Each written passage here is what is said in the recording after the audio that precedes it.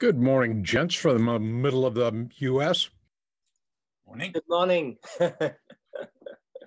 Evening. Oh, good morning, evening, and good afternoon, and hopefully not from too many people, uh, good middle of the night. But um, welcome to our fourth Open Clock Club. We made it to a month old, yay!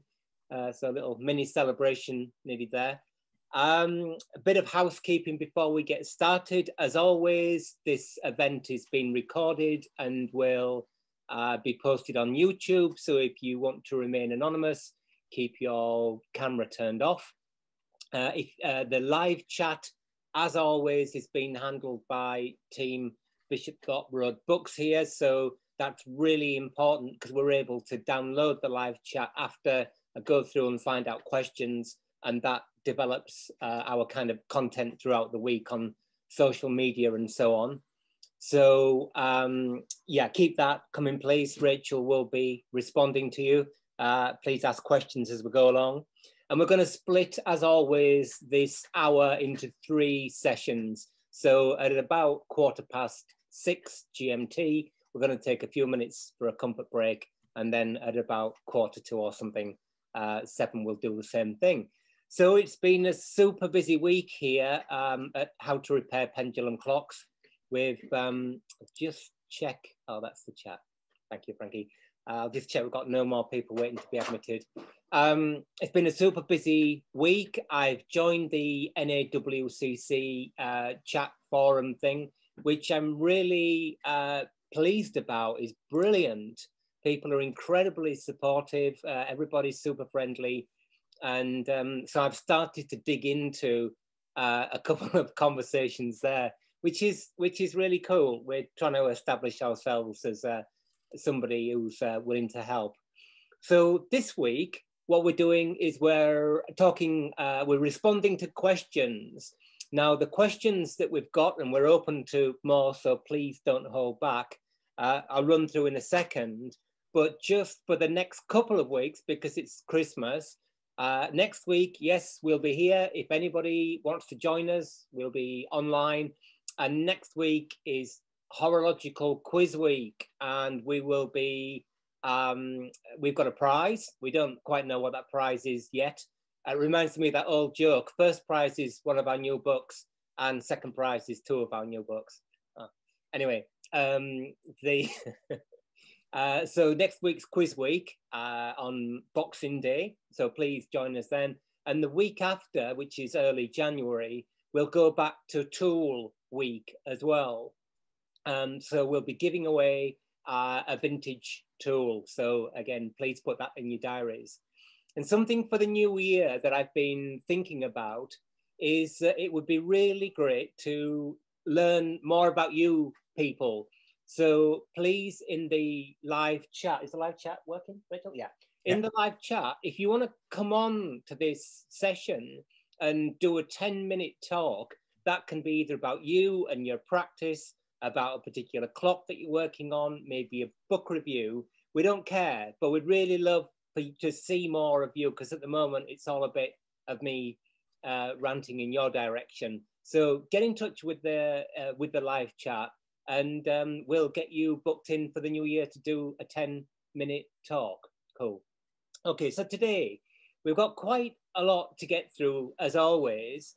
Um, we, you might remember, and you may have seen my new uh, video about mainsprings on the YouTube channel, Matthew Reed.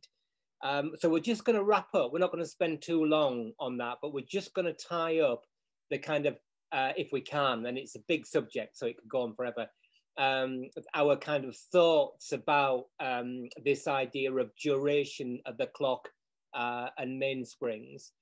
Then uh, we've been asked by Dave, so hi Dave, um, in terms of moving from beginner to uh, sort of intermediate and developing your practice, uh, what clocks should I be working on? So obviously we recommend, as you'll be familiar with by now, that you kind of start on one of these uh, badges, a single train Enfield clock, and I'll explain why when we get talking about that. But where do you go from there in order to build up enough um, experience and confidence thinking that you've got a wide range of experience to go on and maybe make the leap to being uh, in practice, as in charging for work or taking in work, or even thinking about where do you go with specialisms once you've covered these kind of so-called sort of basic uh, everyday domestic clocks. So that's um, what we're going to talk about then. After we've dealt with that, we're going to talk about cleaning, the world's most controversial subject. Uh, and that'll be a bit uh, later on in the hour. We've had two questions very similar. One, and they're both, um, which slightly surprised me really, but it's, it's cool that people have asked them. Both people have asked the same question, and that is about cleaning a clock um, that's uh, you know, it, without taking it apart, immersing it in some solvent chemical, or maybe using an ultrasonic tank. So without taking the wheels out of the train, which I didn't really understand that people did. So that'll be cool. But what I'd like you to be thinking about before we get onto that is what we mean by cleaning, um, uh, because that's kind of where we need to get to before we talk about taking uh, the clock apart. So all good? Yeah, all good. Keep the live chat um, rolling. Oh, just before we start, um, the we've had a lot of inquiries about people who are looking at our book one. Sorry.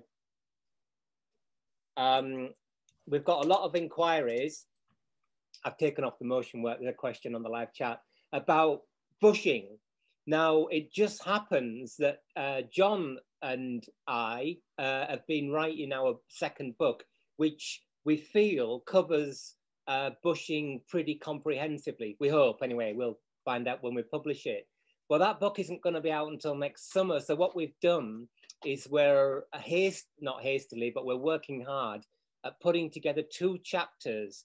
And of course, when you do bushing, in our view, bushing is meaningless until you do depthing first. So we're going to publish as an e-publication, uh, bushing and depthing with a couple of exercises in there um, and hopefully get that out immediately for the new year. So that's what we're what we're after. So somebody was asking what does this clock look like from the other side.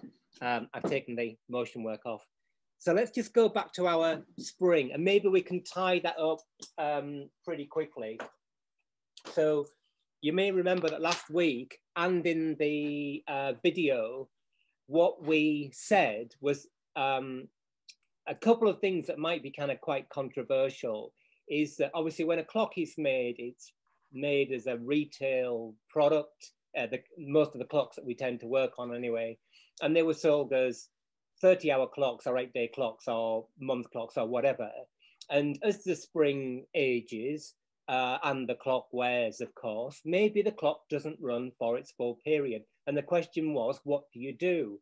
And my rather drawn out answer to that in the YouTube video was it's kind of quite complicated because um, first thing I would say to recap is check everything else, bushing, uh, sorry, depthing, bushing, cleaning, obviously, end shake, side shake, adjustment of the escapement.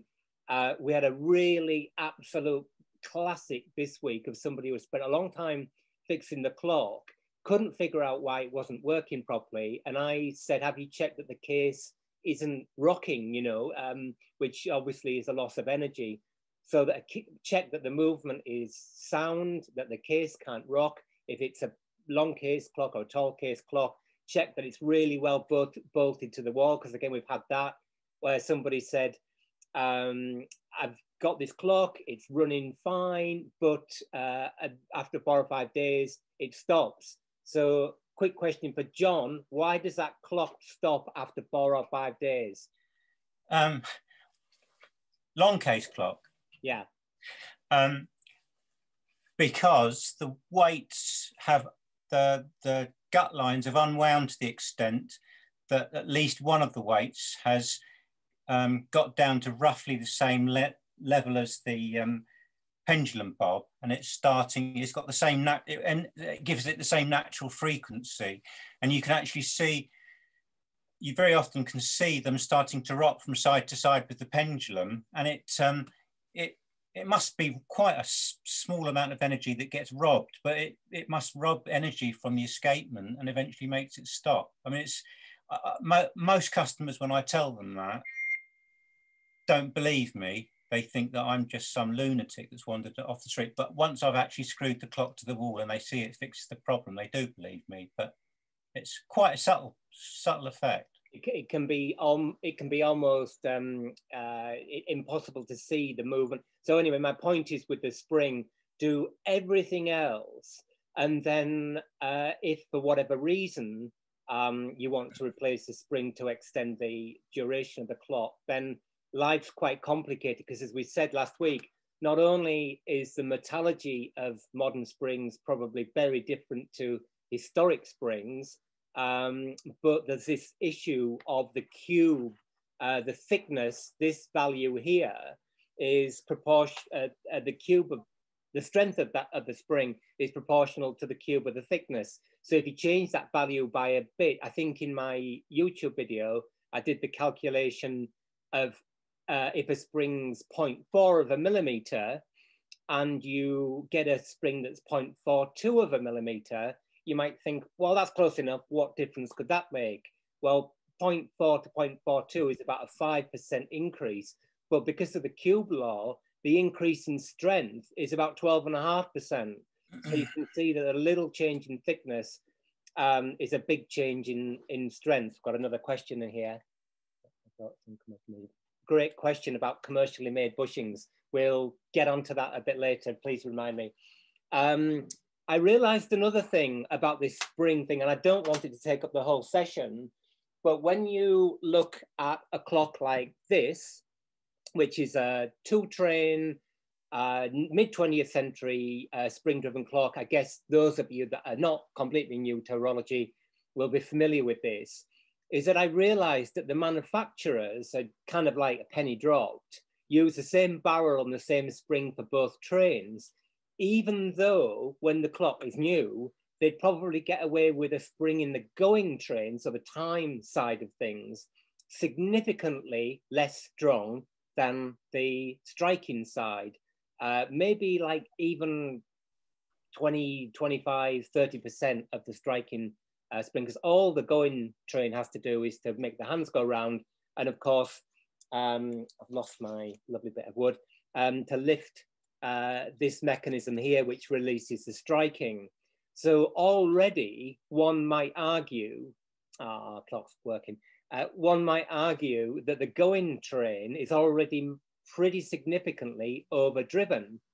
Um, so that raises a kind of um, professional practice or what you might call ethical question of if you replace that spring, do you actually replace it with a significantly weaker one in order to preserve the rest of the clock, the pinions and wheel teeth and so on. Anyway, we won't get into that now.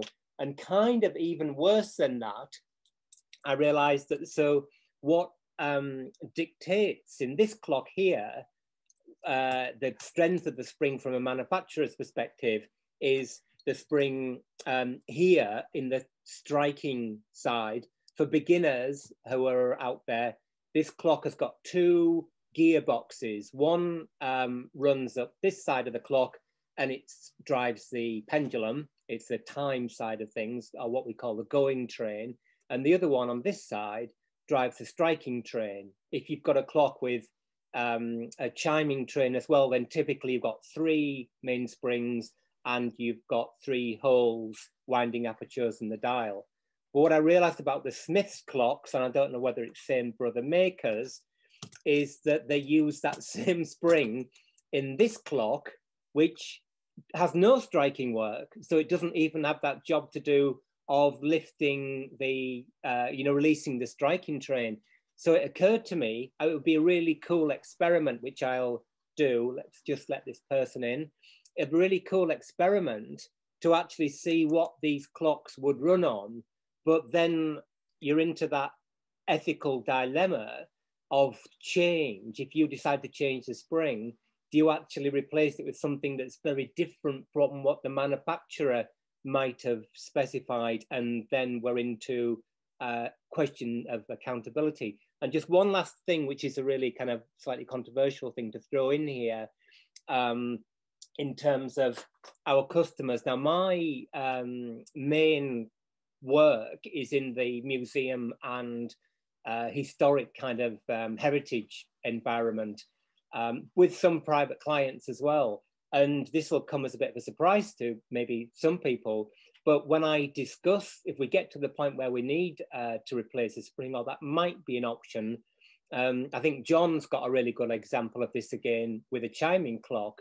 Often, when following a discussion, those clients are actually quite happy understanding that the clock isn't new, so the context has changed, that in fact um, they're happy to wind the clock a couple of times a week. Uh, John, do you want to just give us that recent case study?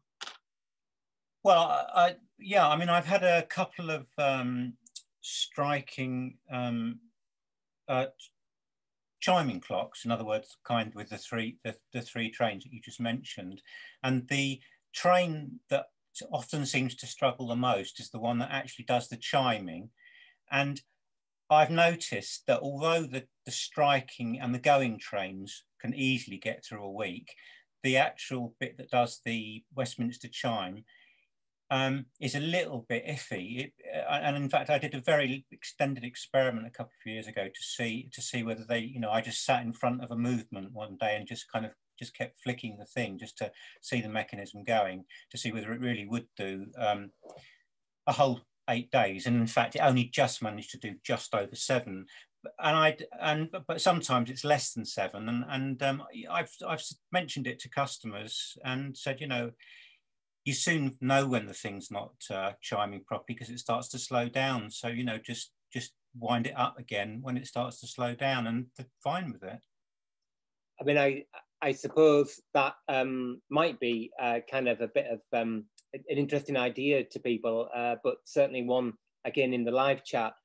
Um, that uh, and this is particularly the case if you ever get into that kind of museum and heritage world, because they very much see the mainspring as part of the what they call the integrity of the object. They don't see it necessarily as a consumable, like uh, and we're probably always dangerous to get into analogies but you know, where does a thing become part of the clock? I just bought an old um, push bike last week off eBay, uh, 1970s thing, and it probably had its sort of original tires on, which are completely shot.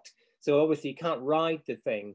And so it sort of had smoke coming out of my ears trying to think about what I was going to do. But anyway, uh, to discuss, so how are we doing for time? It's actually probably time to just cut the uh, spring conversation just for the time being.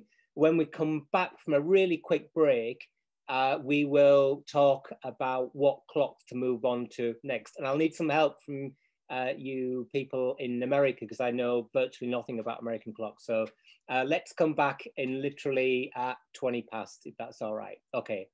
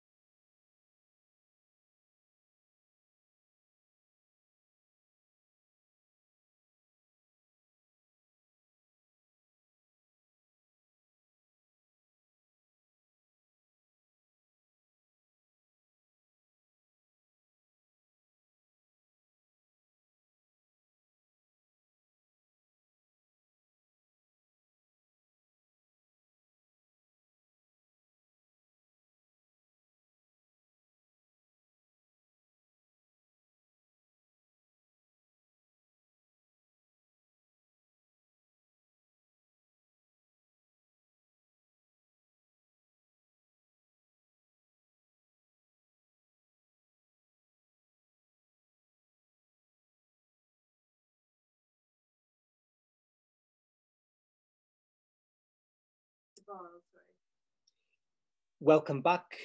Welcome back, everybody. Sorry, really short break there. Um, just allows us more than anything just to kind of reassess where we are. So in this next session, we're going to run through the progression of clocks and why, and you'll have some great feedback on that. Again, keep that live chat going. It's really important to us. uh, we've had a couple of questions. The first one is, uh, I think it's Davall, the make of clock, single train. Um, that's is that a pendulum clock? Can you tell us in the live chat, please? Or does it have a balance, you know, lever escapement? Um, let's before we can make a comment on that. And the other question that's come up, which is a brilliant question, which we do tackle in our forthcoming chapter on bushing and depthing, and that's my view on commercially made bushes.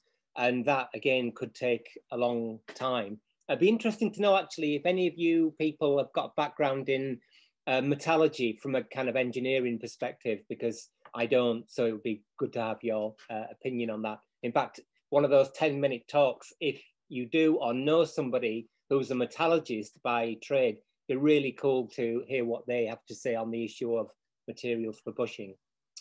Okay, so here's our question from Dave. Where do we go once we've tackled the single train clock? And why, in fact, did we start with this well, we didn't start with this, is the answer. We started with a rather grubby version. We actually started with this, and some of you will recognize it. It's a um, bit of a relic, this one, but perfectly fine. We started writing about French clocks, and I can't quite remember why that was. I think we had just bought a collection of about 50 French clocks, so probably we uh, they were right in front of our face. That might have had something to do with it. might have done. So we wrote about French clocks for about three years and also spent quite a lot of time down the pub talking about French clocks and not writing. But anyway, and then eventually we kind of had a moment of uh, realization that these are not, um, it, the, these are not a great place to start. Uh, should I use this as a workplace been seeing? Yeah, some, so the question was somebody's selling a Davall, um, which I think think is an English make of clock, mid 20th century pendulum clock. It's got a pendulum. If it's a single train, yeah, that's a great place to start. If it's reasonably priced, get it and go for it. So we wrote about French clocks, which again we'll publish eventually, but we realized actually that for the beginner, um, these things are quite small. Uh, the single train ones are relatively rare. The pivots are very hard. So we kind of racked up a whole lot of reasons why not to start here. We'll come back to these in a minute. And so we racked our brains and looked on the internet and thought, what clock can people buy that's mass produced? And it had to be mass produced because we wanted the option. And again, this is for the beginner. If, say, for instance, there was a wheel that was damaged, that you could get another part for it without having to make one because my personal experience of starting clockmaking was that people just said, oh, make a part, get a lathe. And of course, that's not particularly useful information if you're just trying to get off the starting line. So we found these. Can I, can I just interject for a moment? Yeah. Uh, uh, a lot of people also, I think that those French pendule clocks that Matthew just showed an example of, the parts are interchangeable. And every now and then, if you're really lucky, you might find two of those movements where the parts are interchangeable. But generally speaking, although they look like one another, they're not. That's absolutely right, absolutely right, John. In fact, on the NAWCC forum today, we were talking about that a little bit because those movements have got sort of multiple stages to their lives. They start off in one factory essentially, then often move to a different factory to be finished. So they look very similar, but in fact, they're not interchangeable.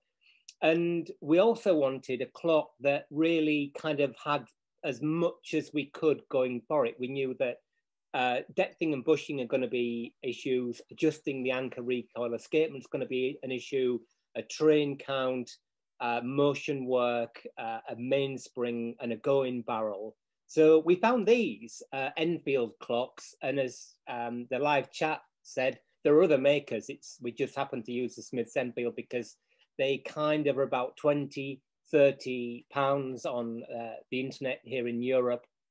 And they're the kind of line of least resistance to getting an actual clock. If you learn about these, um, you uh, will learn a lot. And if you get really, really stuck, you can always opt out and get parts from another one. And in fact, as John said the other week, we experimented by actually swapping parts through the post and the clocks run absolutely fine. So yeah, so what you get from this, as I said, you learn about motive force, motive power from the mainspring in the barrel, which we've talked a lot about. You do a train count, so you figure out the frequency of the oscillator.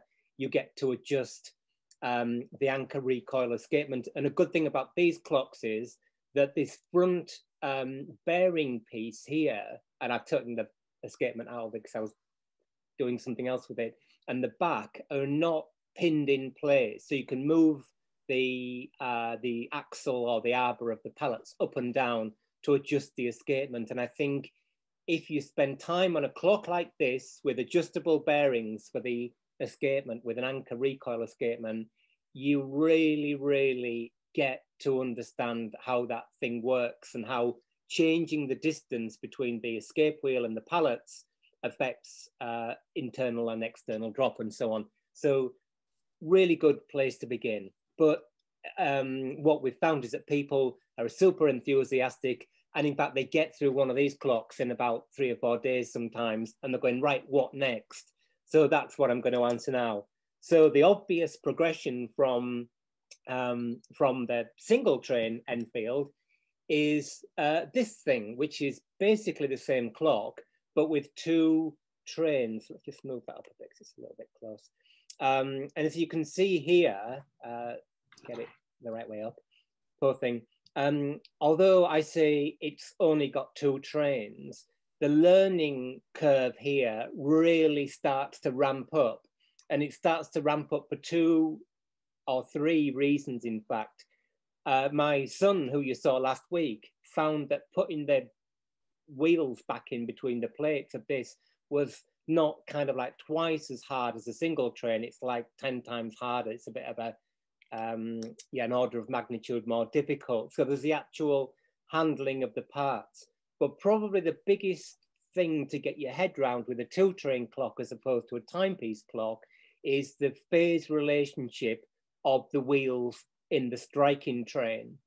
So for uh, beginners, what I'm talking about here, if we can see, is that um, if we can get it to run again, that would be nice maybe it's maybe it's not going to run again, um, is that uh, when you put the clock back together, unlike the going, you know, the single train clock, it doesn't matter where you put those wheels.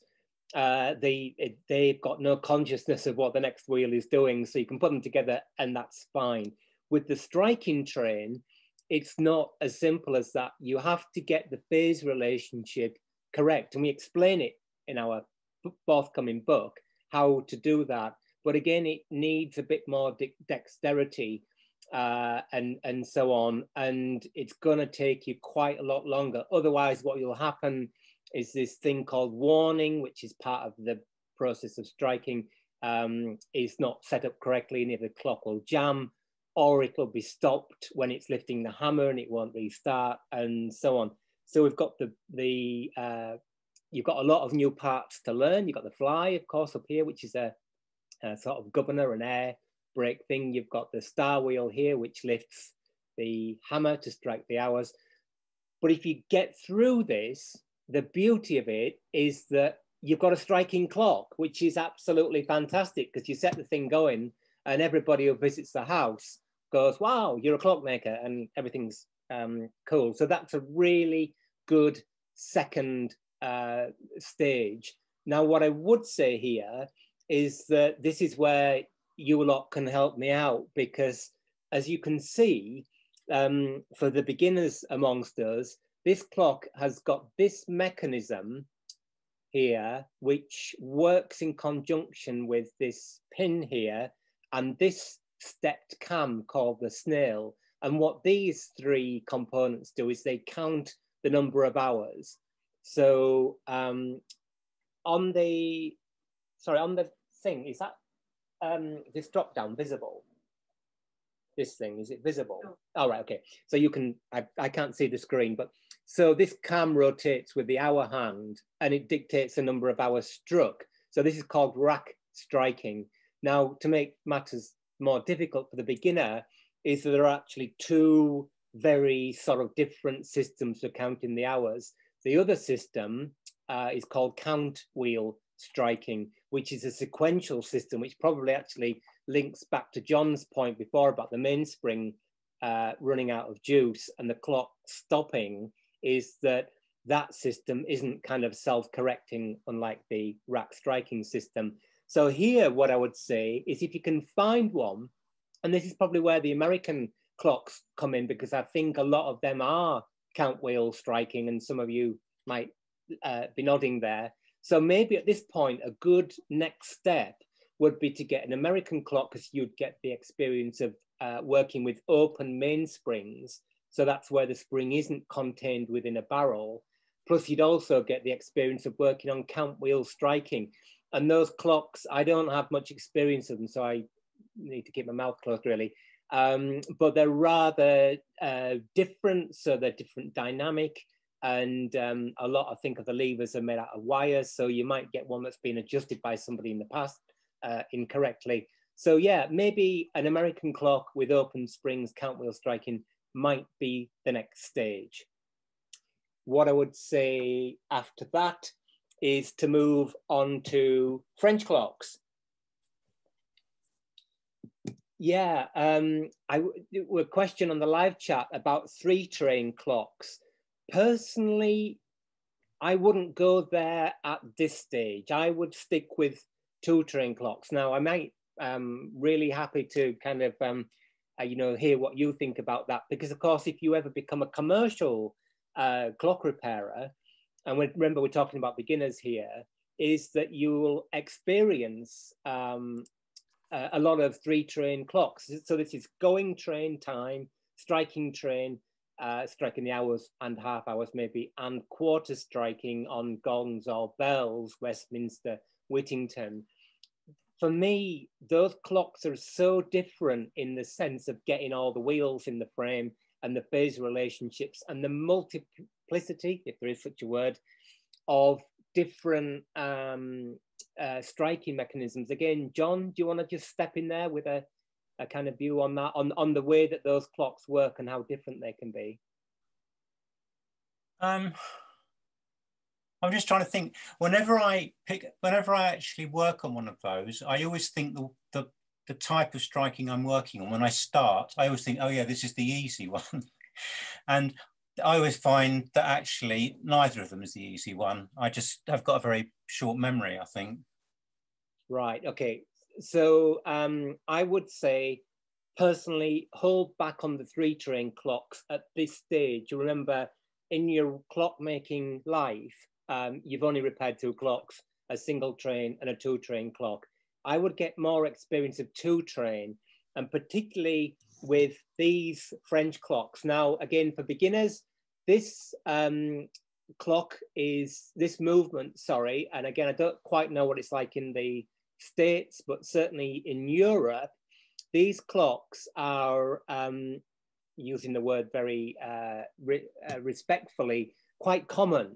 They're not, um, they're relatively inexpensive. You can pick them up for 20 to 50 pounds uh, with a case and a dial and everything. They're not expensive clocks, you know, in relative terms.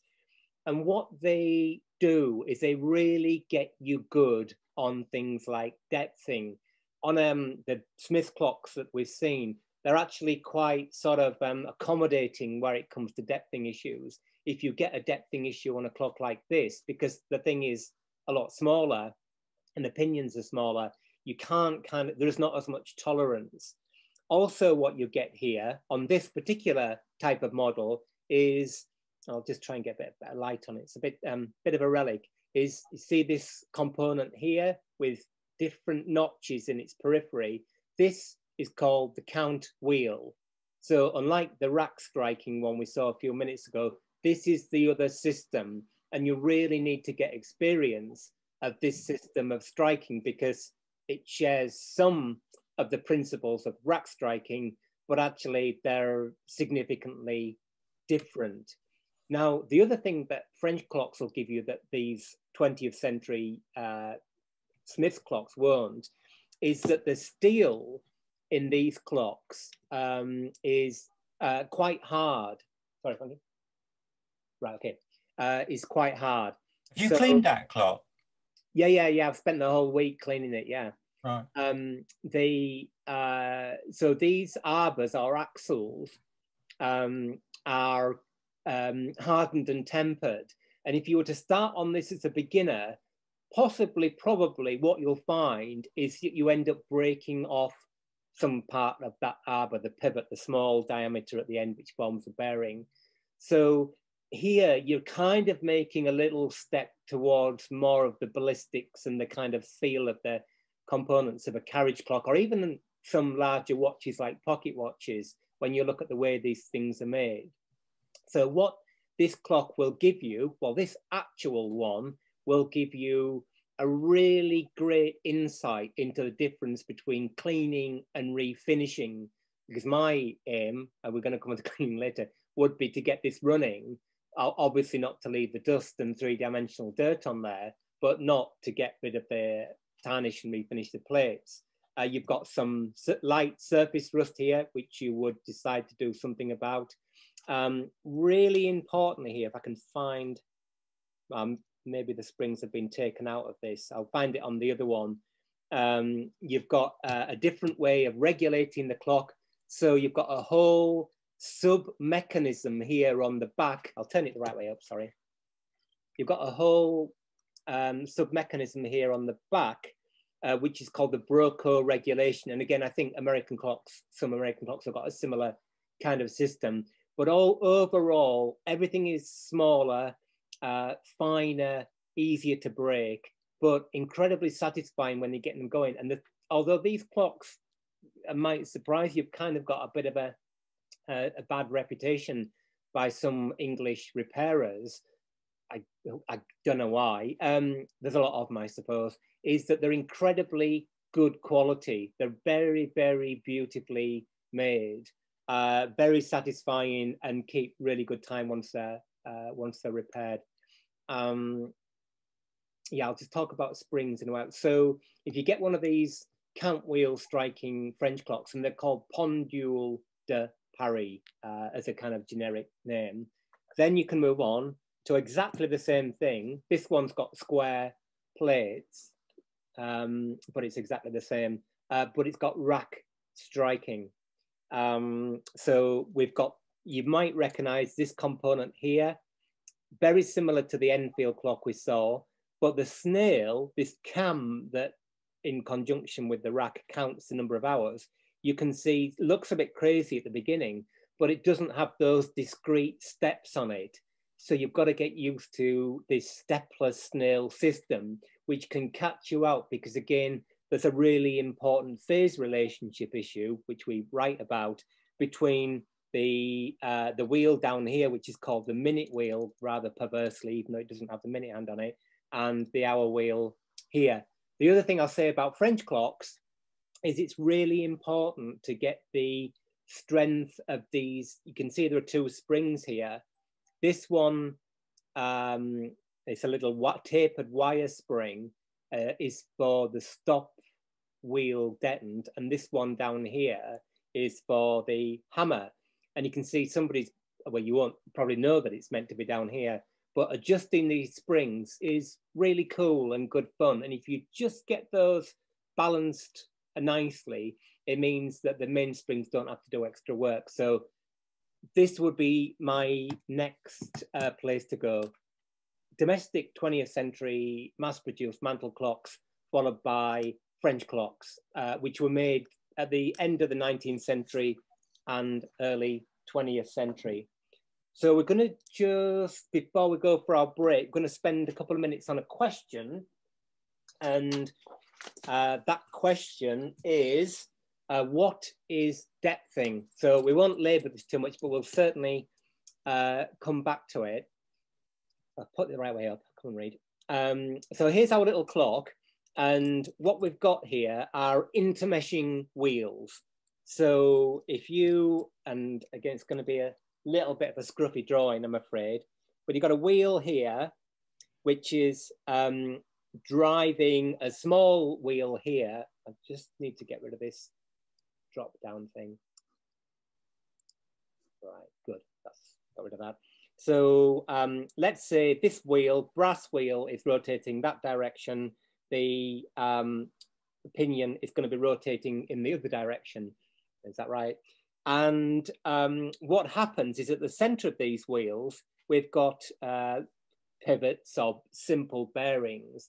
And the action of one wheel, wheel rotating the both uh, and the reaction forces those wheels apart. If it wasn't for the bearings holding them in place, they'd naturally get forced apart. So over time, particularly with contaminated lubrication, what happens is broadly, this one will kind of go in that direction and this one will wear in that direction, which is not a big deal. But when we look very closely at this interface here between the two, when the clock is new, the wheel and the pinion is designed to run at a theoretical optimal position. And this, these circles, these are not the outside diameter of the wheels. These are called, um, out. These are called the pitch circle diameters. And if you imagine um, as the bearings wear, these pitch circle diameters begin to move apart from one another. And what that means is that the efficiency of the meshing reduces, particularly as they move apart. What you get is something called action before the line of center. Sorry, beginners, this is all going off on a little bit of a tangent, pardon the pun. But eventually the clock will stop. And so what you have to do is you have to put those wheels or the wheel and the pinion back at some kind of optimal meshing. And you do that by a process called bushing. And what we find is there are lots of people out there just putting new bushes in, but they're not um, uh, going through the process of depthing. And what depthing is, is establishing the optimal mesh of two mobiles. Uh, we don't have time for it today, um, but what we can do, if anybody's interested, and let us know in the live chat, uh, when we come back next week as part of our um, super exciting Christmas giveaway quiz, is we'll get a depthing tool out and we'll talk a little bit more about depthing because without wanting to put the cat among the pigeons, as they say, um, depthing without bushing is a kind of meaningless um, operation, you just end up doing a lot of work and a lot of change to the machine uh, in a kind of hit or miss way. So depthing is a critical precursor to bushing, and it means finding the proper mesh of those two uh, mobiles. So um, let's have a little break. And when we come back, we'll very quickly talk about the next stage of progression and then we're going to be out of time a little bit, but we'll talk uh, about this idea of cleaning. I think, sorry, I'm talking such a lot, as I said, uh, keep the live chat coming. I think what these sort of important subjects, uh, really good to begin to dig into them, but me sort of telling you what I think uh, is of limited value. So please keep the live chat going and let us know uh, and steer it in your direction. So we'll see you in, uh, let's make it just a couple of minutes at um, 6.46, all right?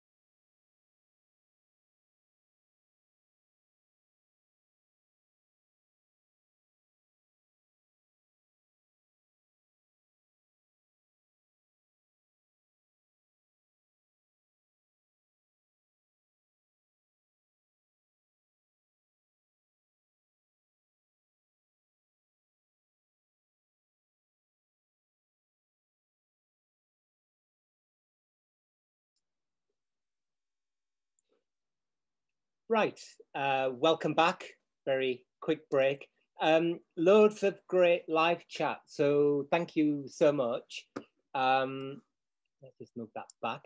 Uh, there's um, somebody has asked uh, whether I'll talk about um, some of the clocks I've worked on, which I will, but um, there's a deal to be struck here. I'll talk about some of the clocks I've worked on if you talk about some of the clocks that you've worked on. So for every one of my 10 minute talks, I want one of your 10 minute talks. So please let us know um, that you're willing to do that. That would be great. I think maybe a good one to start with. Uh, I think people associate me with working on the Swan automaton, which I can talk about, but it's kind of three clocks bolted together. So maybe to get started next week, we'll spend 10 minutes talking about John Harrison's 1727 uh, regulator clock, which is in the collection of Leeds uh, museums, which I took apart a few years ago. And I've got lots of uh, nice photographs, so let's talk about that. So very quickly, where do we go next? We've done those so-called mass-produced clocks. I would say if you've got access to them, the next step would be uh, a European and maybe, you know, maybe American made uh, 30 hour duration, might have to stand up here, um, long case clock movement. And let's just move that up.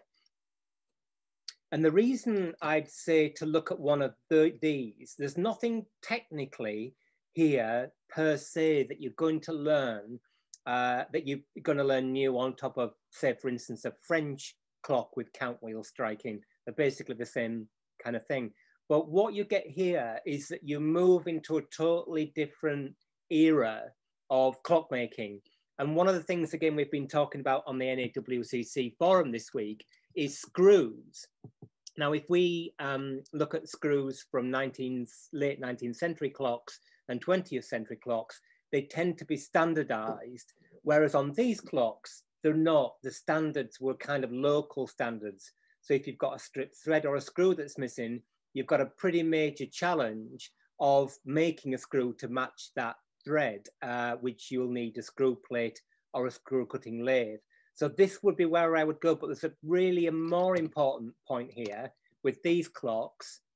So I'll let you have a little look inside. Um, is two things. Firstly, is there kind of this is what 200 and so many years old. Um, so you can see here you've got a real conservation challenge in as much as this has still got its marking out of depthing, which is really great, just what we're talking about, from the maker, which is really cool and something we really want to uh, look after. Uh, but also it's got a lot of previous repairs and previous repairs, repairs, repairs are really cool because they're work workarounds. The way that I see it is that I just shrug my shoulders and accept them. I'm not particularly interested in any kind of putting things right per se, because I personally professionally don't believe that can be done. But you've got a whole sort of layering of almost organic development of the object since it was made to the point it lands on your desk. And of course, as a practitioner, you're responsible for the outcome of that. So that's the bit that begins to interest me as much as the technical challenge. So with a clock like this, inevitably you have a lot more making of parts that are either broken or missing or beyond uh, re reasonable repair and so on.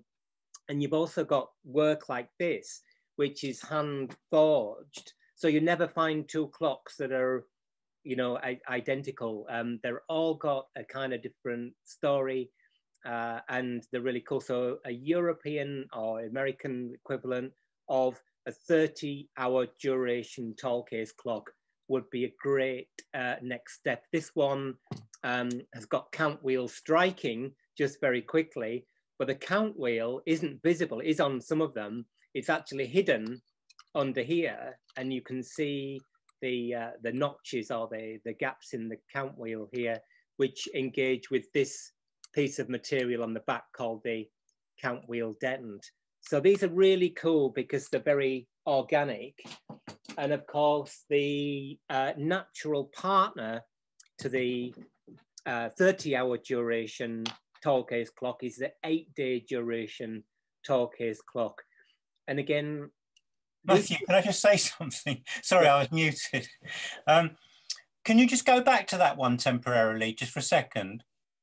That that um, and turn it. Oh, oh no, that's the.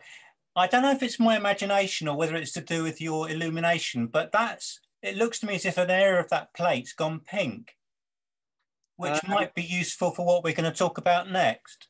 It, yeah, it actually isn't too bad, John. I think it is the lighting you're talking about here. Yeah, there is a little bit of of that, but it's worth. I mean, keep that in mind. Yeah, absolutely. Sorry to interrupt. That's all right. Um, I'm just trying to figure out what time it is.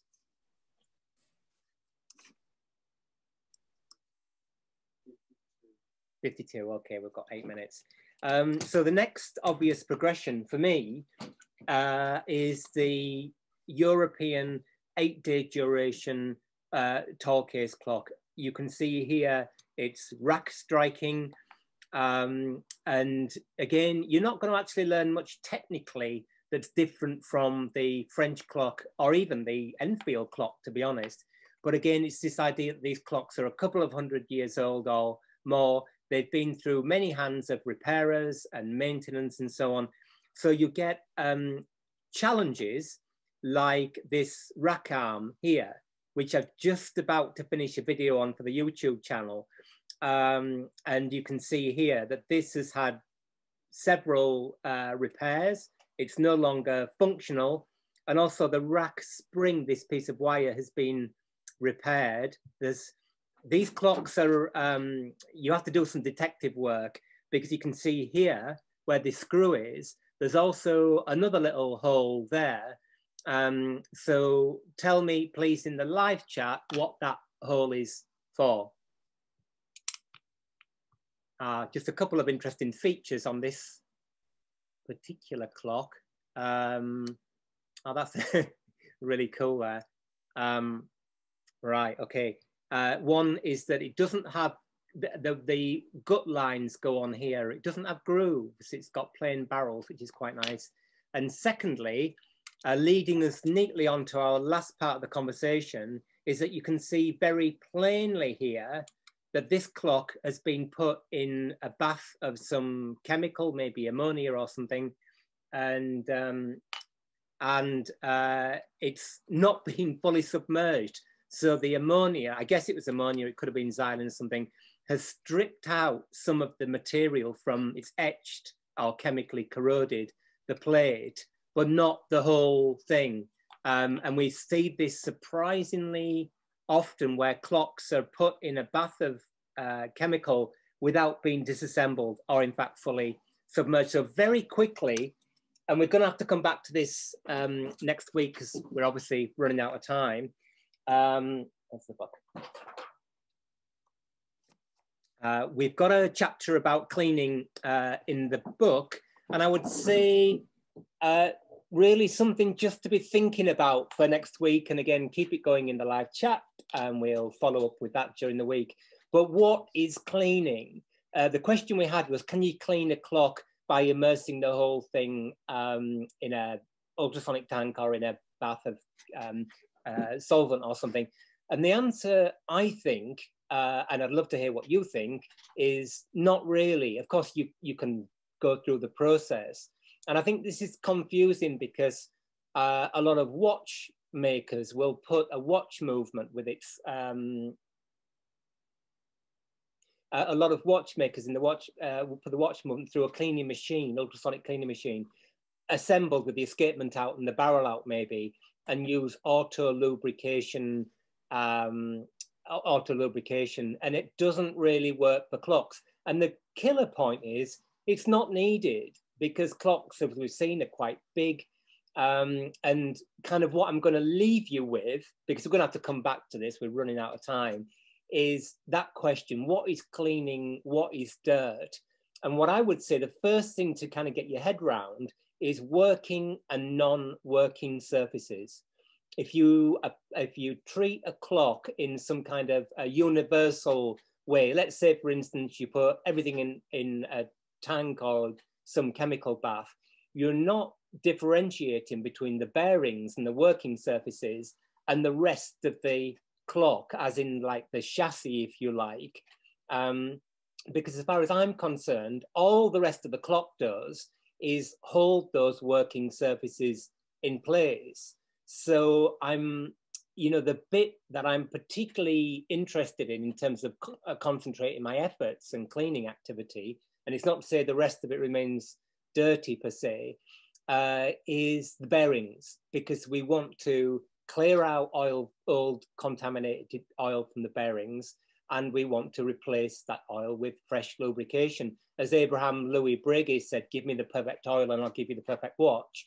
Well, there is no such thing, particularly in a clock, because clocks typically are not sealed from uh, inorganic dust that's floating about in the air, and that lands on the oil and it forms a grinding paste. However, dirt, say for instance, on the frame of a clock doesn't have the same detrimental effect it would have in the bearings. That would be my first point. And of course, it's not definitive. Uh, it's just something to think about. And also, the second thing I would say is that the context in which a clock lives or exists, like us, changes. So I hear a lot of um, comment that, well, it's not what the maker would have wanted, it's not how it came out of the factory. Those things may or may not be true. We know very little actually about what makers wanted. And of course, they were supplying an incredibly different product to what we're dealing with. So, from a practice perspective, um, all I can do, the best I can, is to be accountable on that day, the day that I'm doing the practice, for the work I do. And so, in cleaning, that tends to be very, very, very minimal. And I think we're about out of time, aren't we? What time is it? Uh, right, we've got about two minutes. So we need to come back to cleaning if that's all right. Sorry if we haven't really dug into it. The answer is we can discuss it for the rest of our lives and it'll be really good fun.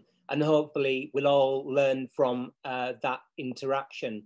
As I say, we talk about cleaning in our book, and I think the third thing I would say there is the, the difference between cleaning, which I think of as like washing, sort of like washing your car, and refinishing, because I think those two things are confused. And I don't have a problem with refinishing, but if I'm going to do refinishing, I want to call it refinishing and not call it cleaning. Uh, anyway, three slightly controversial uh, elements there to which we obviously need to return.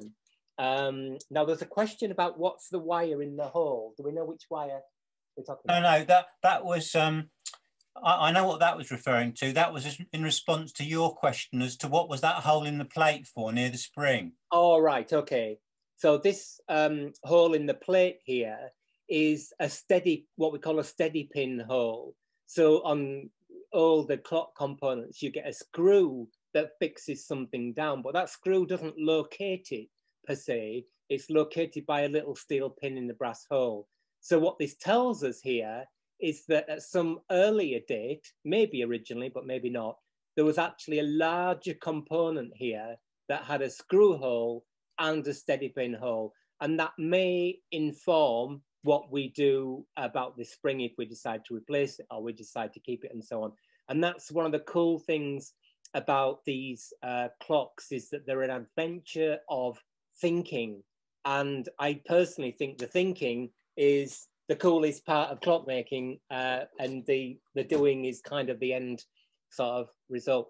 Anyway, we had a question about bushes, which we'll need to answer um, another week, but we've got um, commercially made bushes here, so we can talk about those.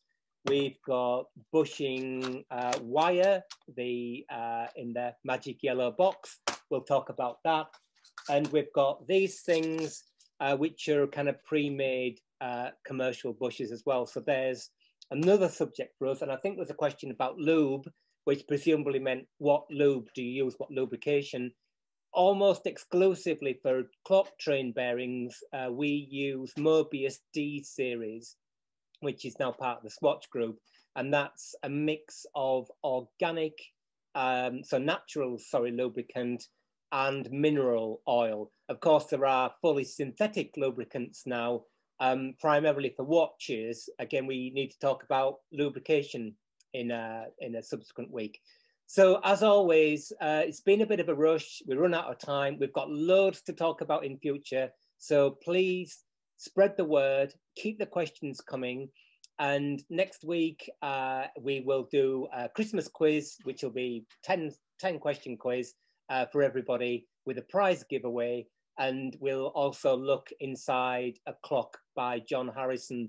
And if you join us then, you'll get to see pictures that nobody else on the planet has seen, other than me, of course. So I uh, hope you can join us then and wishing you a really happy, healthy, and safe Christmas and see you next week. Thank you.